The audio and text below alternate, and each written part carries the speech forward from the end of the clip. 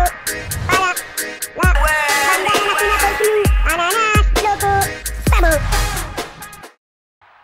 Fratelli e sorelle nell'amore, in diretta dal Master Stadiums di Monaco a Monte Carlo.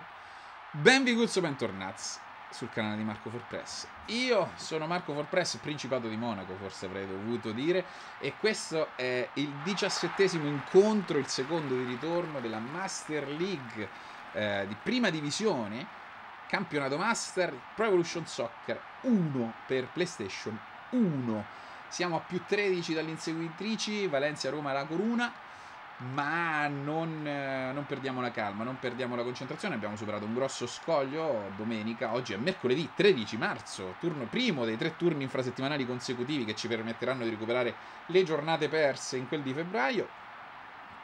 E eh, abbiamo sconfitto il Chelsea 3-1 in trasferta. Vi ricorderete sicuramente il Chelsea che ci aveva umiliato durante l'incontro di apertura di questo campionato master eh, che mi aveva fatto un po' disperare, pensavo che sarebbe stato terribile eh, questo campionato a livello difficile dopo che era stata una passeggiata eh, insomma quello a livello normale. E invece si sta dimostrando una passeggiata anche a livello difficile. Certo ho una rosa veramente veramente forte. Come sapete bene il criterio è quello di acquistare giocatori che hanno giocato, avrebbero giocato o avevano giocato nel Milano.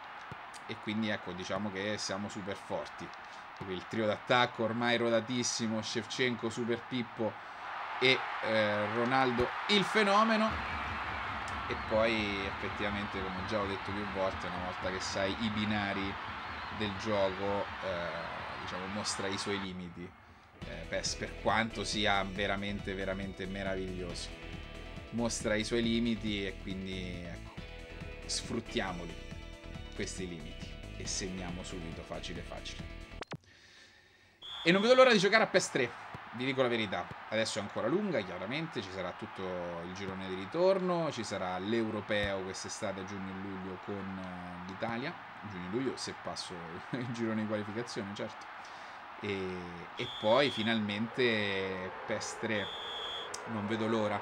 Ho deciso sappiamo già che giocherò con l'Aston Villa cambierò i nomi aggiornerò con l'editor interno le divise ma lascerò gli stemmi farlocchi di Mamma Konami. Potrei mettere gli stemmi originali è un lavoro dispendioso che feci già all'epoca quando ero giovane adesso non è che ho tutta questa voglia ma non è per quello è perché comunque eh, già cambiamo i nomi perché per quanto adesso fossero comunque bene o male eh, simili a quelli originali e quindi ricordavano un po', è simpatico anche vedere le piccole differenze, non lo è più in PES 3, anzi i nomi incominciano a diventare strani, brutti, Bartes. E quindi almeno quelli li mettiamo quelli originali. Le maglie non sono bruttissime quelle originali del gioco, no, dammi un pupazzo bravissimo. Però c'è la possibilità con l'aiuto interno di fare un ottimo lavoro nel ricreare quelle, quelle reali dell'epoca. Almeno gli stemmi eh, fasulli per mantenere comunque un briciolo, un pizzico di quest'aria che si respira nel capolavoro calcistico di Mamma Konami, perlomeno nelle sue intenzioni iterazioni, iterazioni incarnazioni dell'epoca. Oh, Somaro non si fa, Marco. Non si fa un leone dal massimo anche quando deve catturare una lepre, come diceva il maestro del portiere Maya. Nulla di, di Captain Tsubasa alle Benji. A proposito di Captain Tsubasa alle Benji, ho iniziato a leggere e a guardare Blue Lock e mi sta piacendo mi sta piacendo molto, mi sta piacendo come è scritto, disegnato da Dio, disegnato veramente benissimo ed è importante secondo me, ehm, Dio, non, che, non devono essere per forza così fighi, poi venendo proprio da Capitan Suvasa non è importante che siano realistici o fighi i disegni, è che si capisca, insomma, che stiano dietro all'azione, che le tavole, le inquadrature, le azioni, quello disegnato, le vignette stiano dietro all'azione e mi sta piacendo molto. Mi sta piacendo molto, mm, diciamo che lo sto recuperando eh, in maniera un po' all'arrembaggio, però sto prendendo anche i volumi. quindi ecco, solo che ne faccio, prendo i volumi alla velocità con cui con cui lo leggo all'arrembaggio, quindi un po' alla volta. E in più lo sto guardando, sto guardando l'anime su Crunchyrolls, quindi anche lì legale professionale. Sto approfittando dei 14 giorni di prova gratuita, purtroppo lo dico, mi sa che manterrò l'abbonamento mensile. Mega fan, quello da 6,50€, vediamo. Perché dopo, dopo Blue Lock vorrei guardarmi anche Jujutsu Kaisen che allo stesso modo ho iniziato. Mi sono letto il capitolo 0 all'arrembaggio adesso sto recuperando i volumi. Quindi ci sta sto recuperando i volumi in maniera legale professionale come direbbe il buon Sommo Buddha. Voglio vedermi però pure l'anime perché so che è fighissimo è stato super premiato e, e poi voglio vedermi anche Mashal. Voglio vedermi Leveling solo che ne ho sentito parlare. Bene e poi voglio vedere e anche recuperare il manga di Mashal, Magic and Muscle. Eh, solo che i volumi ancora no. Avevo iniziato a leggerlo all'arrembaggio. Sicuramente se mi piace mi prendo pure i volumi, ovviamente. Intanto mi guardo l'anime in maniera legale professionale. Quindi ecco, questo è un po' un aggiornamento su anime e manga proprio dell'ultima ora, fresco fresco. Quelli, gli unici che recupero altrimenti sono One Piece all'arrembaggio e la New Edition. E One Punch Man che però invece non prendo, non leggo all'arrembaggio ma recupero solo in volume, quindi ogni tantissimo. So che deve essere andato avanti tantissimo uh, in originale rispetto a dove sono io. L'ultimo volume qual è il 28. Devo andare a vedere se è uscito il 29 effettivamente. Oggi eh, avevo una riunione importante, non potevo sottrarmi, quindi non sono potuto passare dal mio fumettario di fiducia super giovane di Mega Comics a Civitanova Marche. Via. E, e, quindi niente, domani però passerò senza dubbio eh, a controllare la mia casella, a vedere se sono arrivati One Piece e o One Punch perché non mi ricordo quando è l'ultima volta che ci sono passato. Era uscito il 101 di One Piece New Edition, quindi forse il 102 non è ancora uscito. Eh, non sarà uscito anche il 29 di One Punch Man, però ci vado lo stesso, così magari mi recupero qualche altro volume di Jujutsu Kaisen e di Blue Lock, che sto avanti in Blue Lock, però mi piace, mi piace, mi piace davvero come è scritto.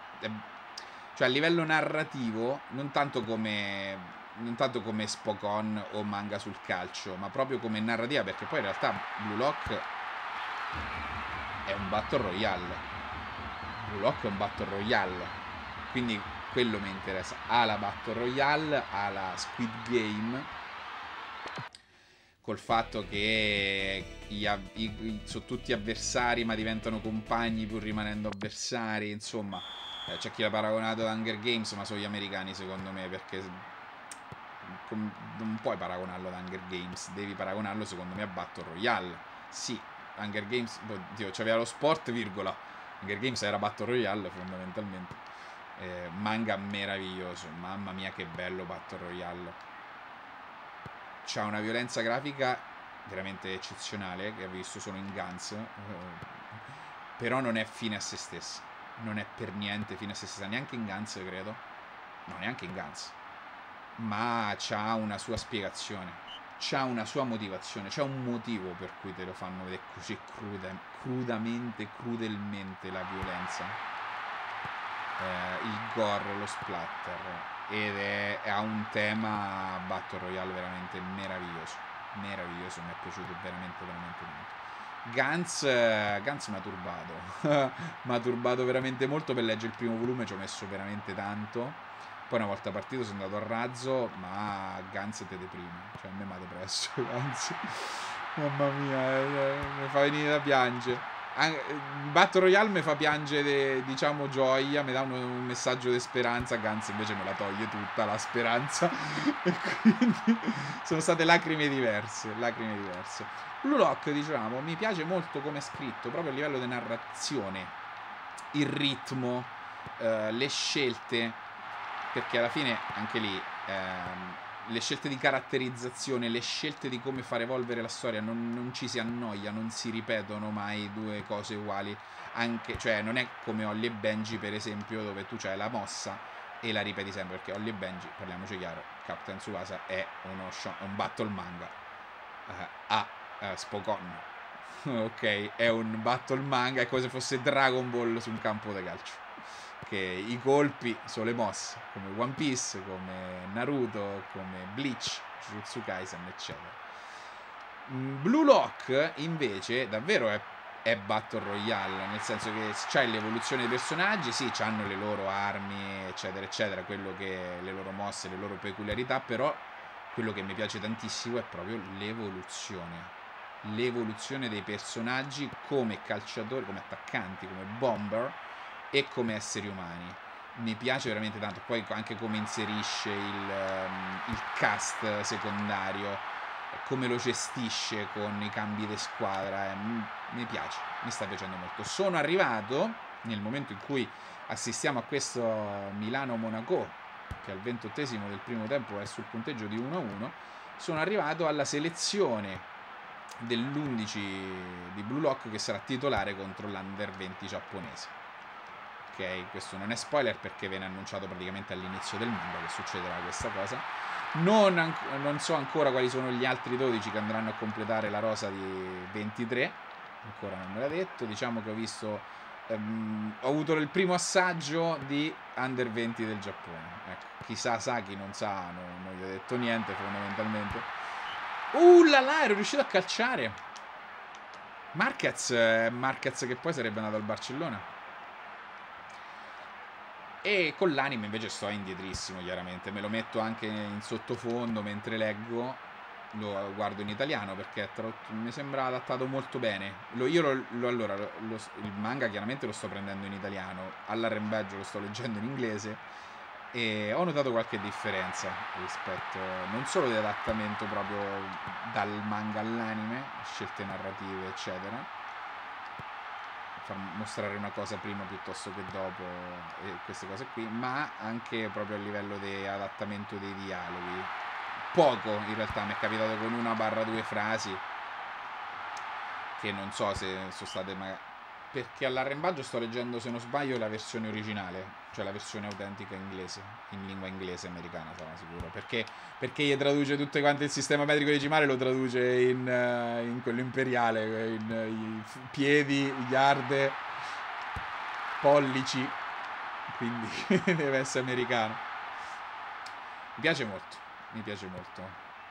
Messi, Ronaldo, Cantonane, Papelè, ne parlano apertamente, Real Madrid e poi, non so se lo sapete, ma la divisa del Giappone ai mondiali del 2022 è stata, stata creata in collaborazione con, eh, credo, l'illustratore, perché Blue Lock ha uno scrittore e un illustratore. E non saprei effettivamente, ma immagino con l'illustratore, perché se parla di grafica, no. Uff, mi ha riscato pure da rigore. Marco Simone. Una... Com'è? Triplice fischio? No. Triplice fischio ma è il primo tempo. Eh. No! Oh no! Ma com'è finita la partita? Ma come vola il tempo quando ci si diverte? No, cazzarola, avrei spinto di più. Pensavo avesse tutto il secondo tempo. Il Valencia ha vinto, la Coruna ha vinto, la Roma ha perso. Cazza bubola. E vabbè, ragazzi, eh, va bene, ci sta a pareggiare. Abbiamo comunque perso due soli punti, ne avevamo guadagnati tre. Siamo comunque a più 11. La prossima giornata, che sarà domenica 17 marzo, ci vedrà a Parigi contro il Paris. E beh, per oggi però è tutto, quindi fratelli e sorelle nell'amore vi ringrazio, vi ringrazio come sempre per essere con noi anche nel turno infrasettimanale di PES start. Io sono Marco Anici Filipponi, alias Marco Forpress, iscrivetevi, commentate, mettete mi piace e condividete, ma soprattutto vi do un comandamento solo. Cercate di non essere stronzi. Buonanotte.